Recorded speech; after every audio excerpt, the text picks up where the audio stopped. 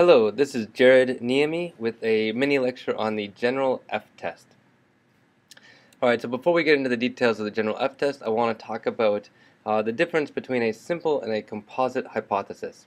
And this is all going to be in the context of a one-way ANOVA. So in a one-way ANOVA, we assume that the variances of all the groups are the same, but that the groups have possibly different means. So in this first example, we're just going to assume that we have three groups. Alright, so I could have just said here i equals 1, 2, and 3. And in those two groups, we can have different types of hypotheses. So here's one possible hypothesis. This one is a simple hypothesis. It just says that the mean for group 1 and group 2 is the same, and the alternative says that they're different. Alright, so this is a simple hypothesis. It's the same type of hypotheses that we've seen before in the two-sample t-test. Now we'll get a bit more complicated. We're going to generate a composite hypothesis. So this is similar to the type of hypothesis that was used in the one-way ANOVA F-test. And now we're basically going to generalize it to be used, that similar F-test to be used in different scenarios. So this is exactly the hypothesis used in the one-way ANOVA F-test. Here the null says that, that the means for all the groups are the same. And the alternative says that at least one of the means are different. Right? And the reason that this is a composite hypothesis is that this alternative doesn't describe one particular model. In fact, there are many possible different ways that this model could be, this alternative hypothesis could come up. Uh, here's one. The first one is that, oh, in fact, the mean for groups 1 and 2 are the same, but they're different from group 3. Or the, the mean for group 2 and 3 is the same, but that's different from group 1. Or groups means for 1 and 3 are the same, but not the same as 2. Or all three of them have different means. All right, so it's composite because this alternate, uh, this alternative hypothesis has, in this case, at least four possibilities. All right, and so we're going to attack these two problems and from a hypothesis testing standpoint with two different approaches. If it's a simple hypothesis, so for instance, we're just comparing the equality of two means. Now remember, we're in the scenario that we actually have three groups. But at this point, the hypothesis is only about the means for group 1 and group 2. Alright, then in this scenario, we use exactly the same formulas that we had for the t-test and confidence intervals with the two-sample t-test. Alright, so these should look very uh, familiar. And what's now going to change is the degrees of freedom here and the calculation of the standard error. Well, in fact, the standard error calculation is exactly the same, within the standard error calculation, what's going to change is the way that we estimate the pooled standard deviation. Right, so the two things that change, one is that the degrees of freedom is no longer n1 plus n2 minus 2, but instead it's the degrees of freedom for the whole population altogether. So in this case it's n1, n2, all the way up to ni if there were i groups. In this case we just have n1, n2, and n3. And then we subtract off capital I, which is the number of groups that we have. In the simple example we're thinking of so far, that's just 3. So another way to write this is just to write n minus i, where n is the total sample size that we have. That's the first modification. The second modification is with the calculation of the pooled variance, from which we can get the pooled standard deviation. And the key here is now we use the sample standard deviations of all the groups, not just the two groups that we're interested in. Right, so this calculation right here is just a weighted average of the sample standard deviations from all groups.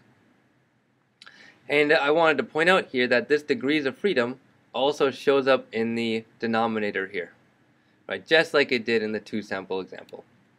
And so we could altern alternatively write uh, this in this notation.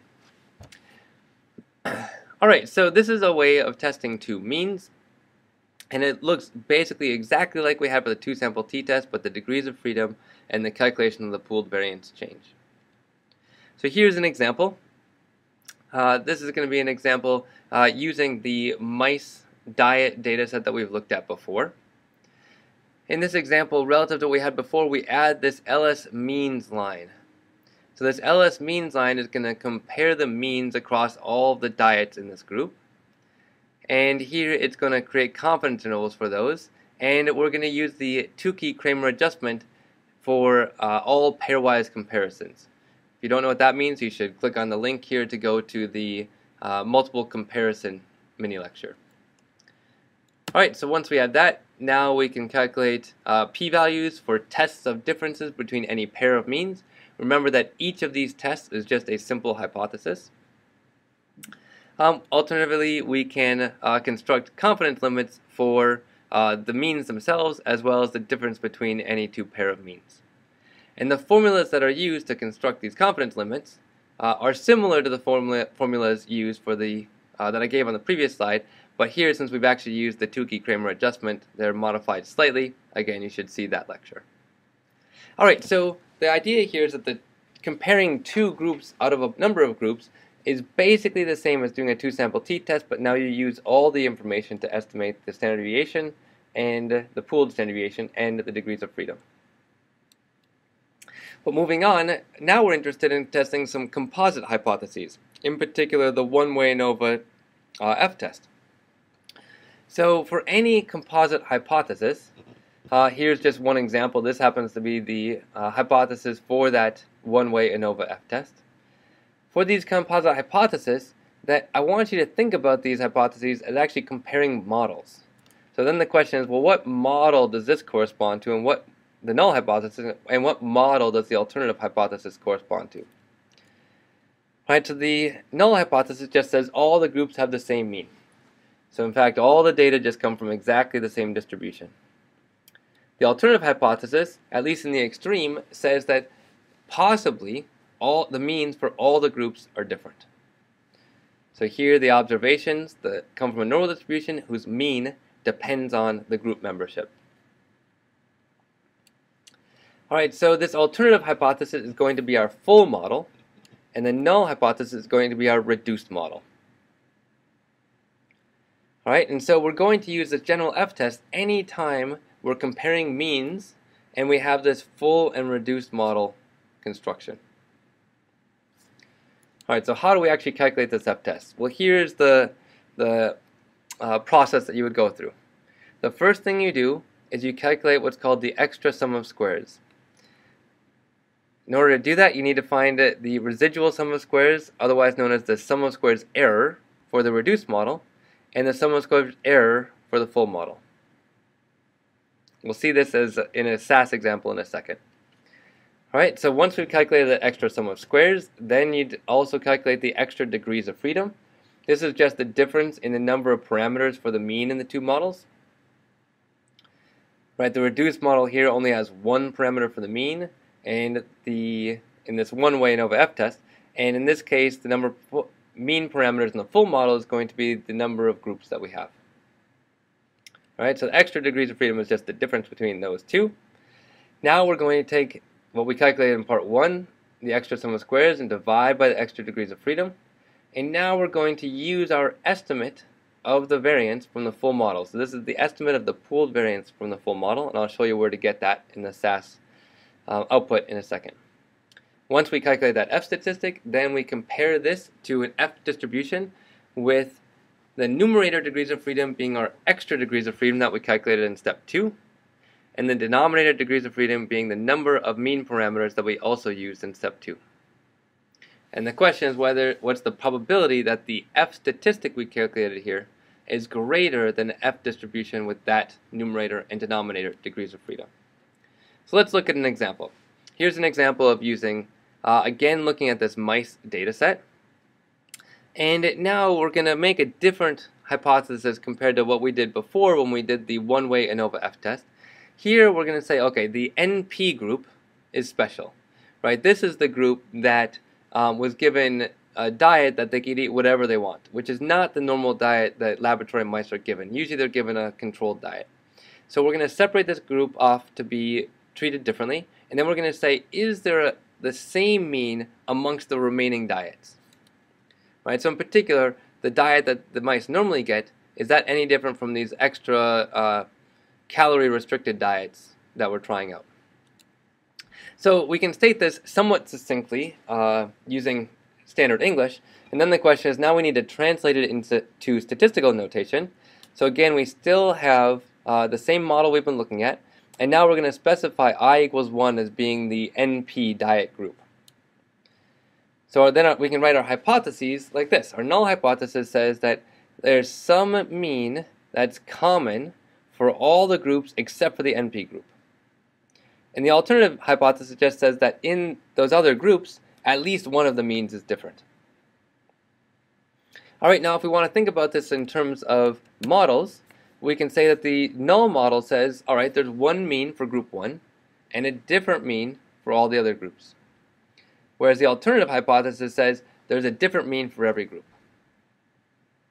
All right, so it should be clear here what we might need to, to generate in order to fit the first model is a new variable that says, are you in the NP group or not? So that's exactly what we're going to do in the SAS code up in the data step we're going to create a new variable called group, and that's going to be one if the the mice was on the mouse was on diet NP, and it's going to be zero otherwise. So now one group equals one specifies the NP group, and group equals zero specifies all the rest.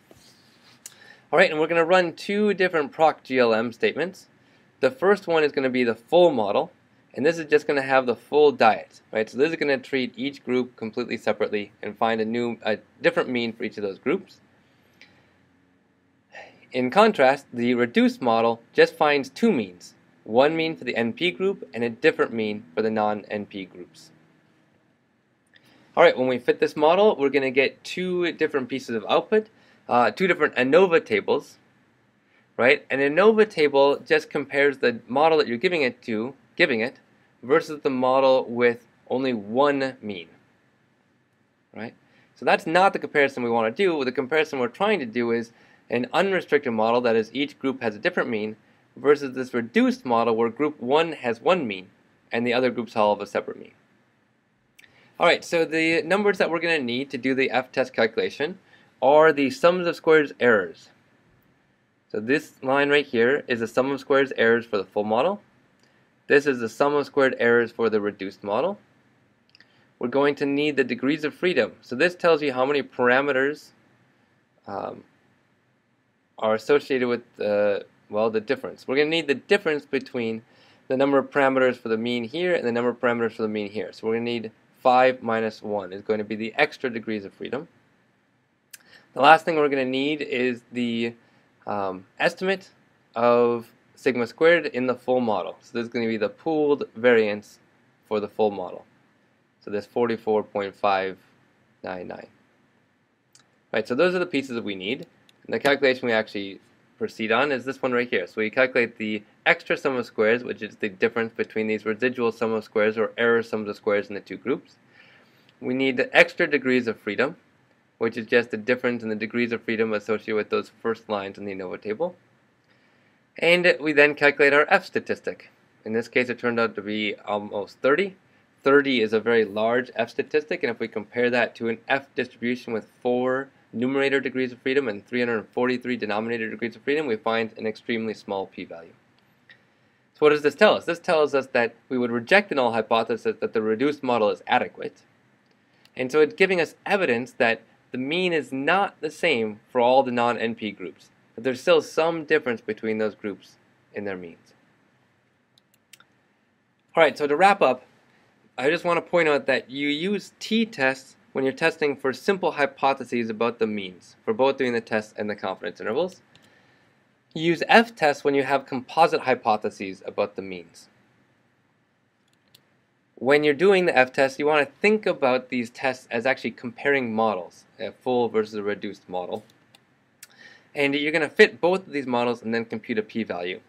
We're going to see much later when we get into um, two-way ANOVA and so forth that we're actually going to have uh, SAS or other software is going to generate a number of these f-tests that we might be of interest to us automatically. Thank you.